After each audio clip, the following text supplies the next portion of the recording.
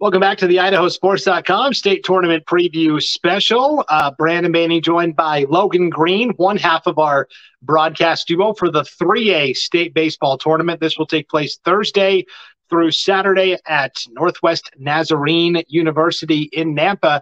Logan, you and I were at the 3A state tournament last year, and it was, to me, you know, people can say what they want, but I thought it was the most exciting tournament. Yeah, and, and it outside of Marsh Valley kind of just dominating their way through, um, the rest of the tournament had a lot of storylines and a lot that even translate over to this year. I mean, even Marsh Valley just blew through that tournament. I mean, and they did, and they're back in that top spot again this year, and rightfully so. I don't think there's anybody that can argue with that. Um, I think you look back again. There was a lot of stuff that happened last year, right? Kimberly coming in hot. Uh, we thought maybe they it, the Kalash course. Maybe uh, you would see Kimberly and Marsh Valley. Kimberly leads in the top of the fourth inning. Uh, they lead Fruitland three to one. They make a pitching change, and this is something you guys talked about on other uh, other portions, right? You make a pitching change, saying, "Hey, I, I, I think we're good here." And, and, again, I'm just this just speculation, right? From what we saw with our eyes, uh, thinking, "Hey, I'd like to have this arm on Saturday." Um, you had the arms available Saturday, but it just wasn't in the game you wanted it to be.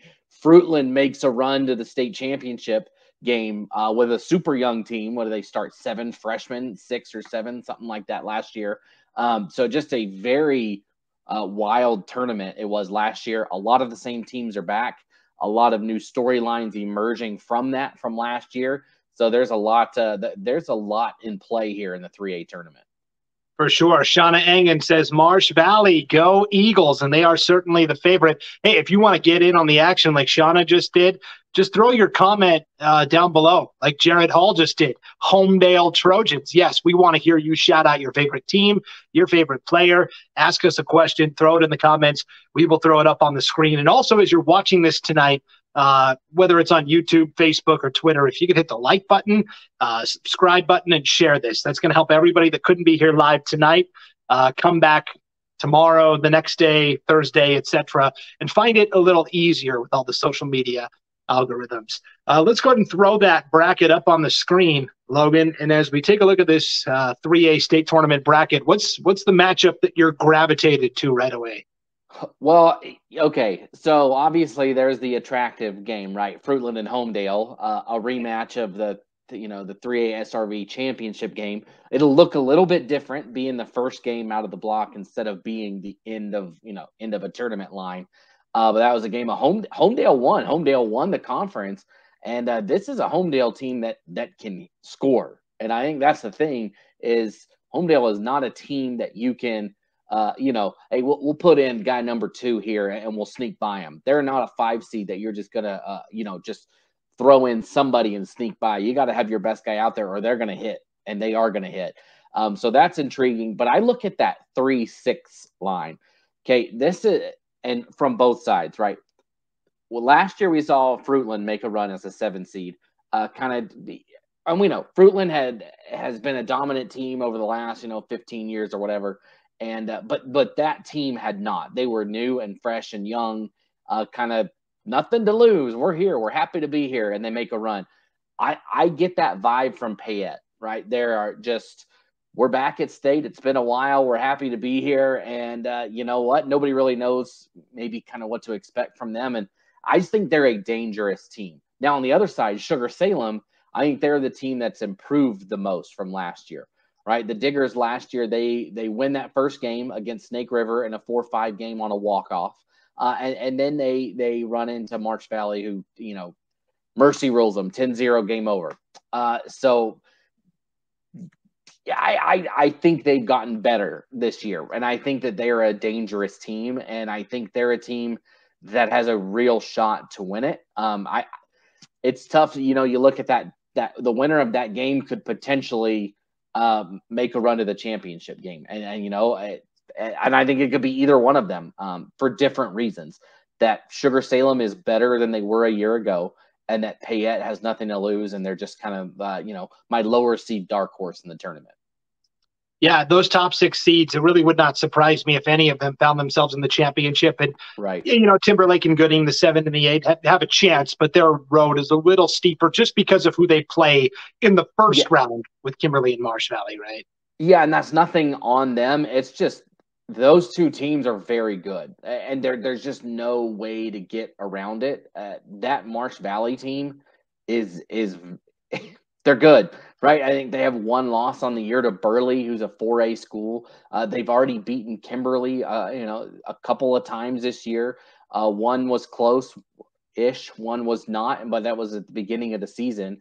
Um, and so I just look at it and I say that those two teams, but then Sugar Salem, right? Sugar, they played, I thought, a pretty good schedule uh, reached out, played some 4A teams throughout their schedule. You know, their losses on the year are to Pocatello, a qualifier at 4A, Wood River, a qualifier at 4A, and Kimberly, the number two seed in this tournament. And and that that's it. And that Kimberly game was five to four. So I, I don't know. I just think Sugar, you know, but if you go back to Kimberly, they're just a really good team. And they were a team last year that they, you know, they ended up winning the consolation championship and they showed us who they were. They had two shutouts the rest of the way, right after they they lost that first game. Um, and they're just those top three are really good, and that just no knock on those you know those bottom two. It's just you're you're running into a buzzsaw there. Yeah, and Sugar was a very young team last year as well. Relied on a number of sophomores that are now yeah. juniors, and and we think about Sugar Salem and they win all the time in every sport. Well, not baseball. This is the kind of new. And head coach Brady Gardner told me that last year when we were talking to him at at state, he said, look, we want our baseball team to be on the level of what our other athletic programs are. And it's taken a lot of hard work and a lot of off-season work, and um, they, they've gotten there. And so, yeah, here's another sport that Sugar yeah. Salem can really be great at.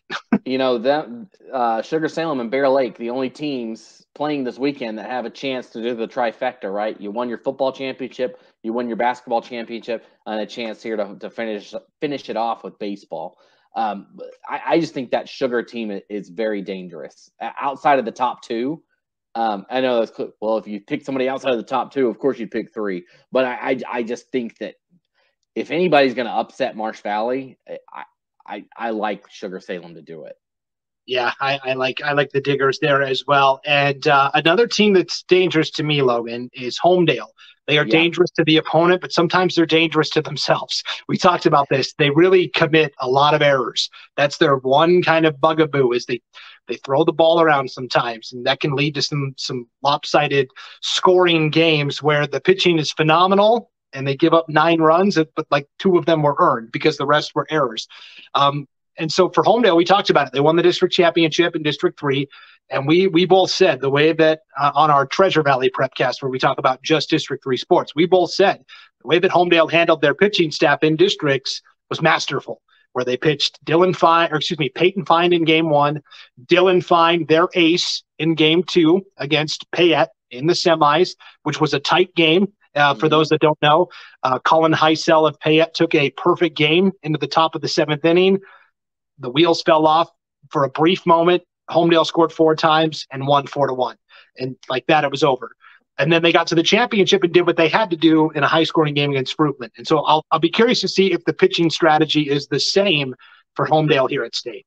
Yeah, and you, like you said, they've given up some runs, right? They they gave up double digits when they played Marsh Valley. They they gave up 13 or 14 to Payette earlier in the year. Uh, but then at the same time, I mean, you, you, see what they've done. They scored 17 against Melba, 15 against McCall Donnelly, 14 on Weiser, 12 and 10 on Buell, and, and then 10 on Fruitland. And so again, I mean, they're a team that it, like you said, it'll be interesting to see how that pitching, what they do. Do, do you just shake hands at the beginning and say, hey, look, let's play another one of those 10 to 9 games and uh, and we'll see who comes out on top and uh, and and then you have your ace on the next day. I'm just kidding. That doesn't occur. I'm I'm just making stuff up. But uh, we'll see what we get. I mean, we saw it last year. I think 20 runs Homedale scored against Weiser or something like that. I can't remember.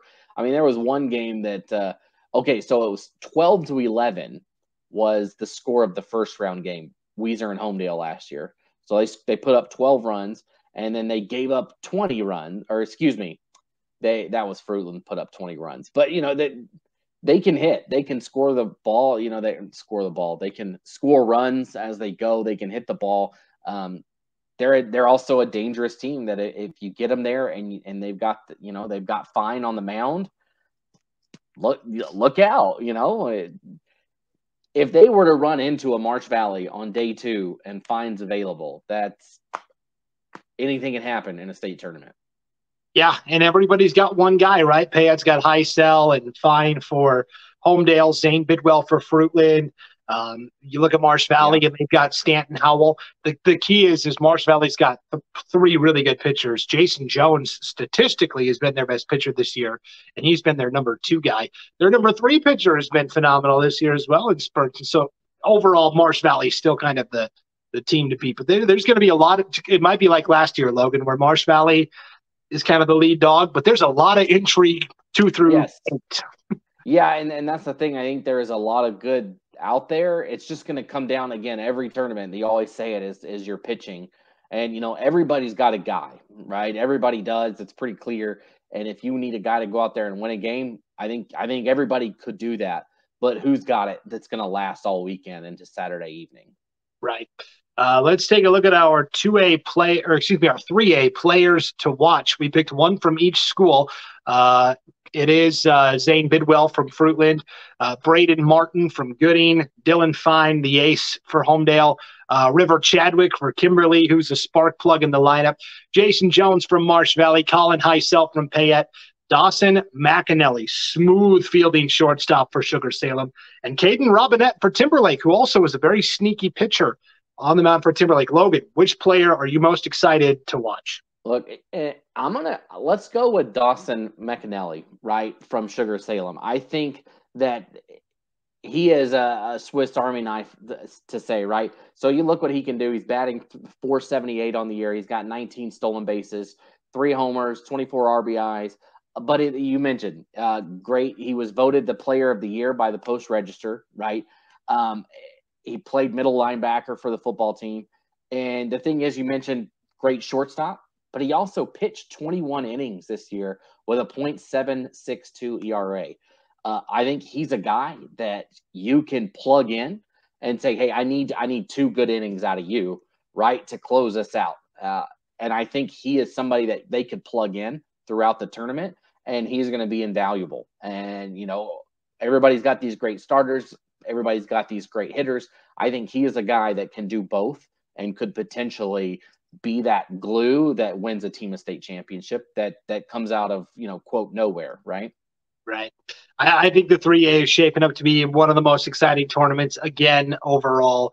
And logan green and glenn jones uh, we'll be on the call for those games. It's thursday friday saturday at northwest nazarene university in nampa uh, beautiful field. They've got a nice little party deck with a couch out there, kind of down the, yeah. the third base line, and uh, it's it's going to be a good time. And we're excited to see you guys in action and all the teams in action starting on Thursday. Uh, we will take another break and come back with our 2A state baseball tournament uh, preview right after this on IdahoSports.com.